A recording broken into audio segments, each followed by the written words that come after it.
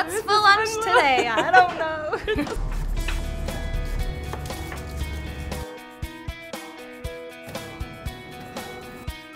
On the menu today is beetroot chips and roasted potatoes and salad.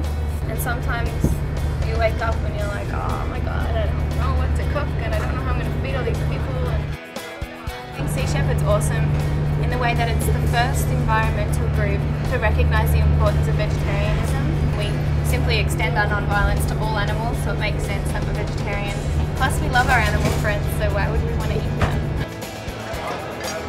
Good. Loving the food, dude. It's really good.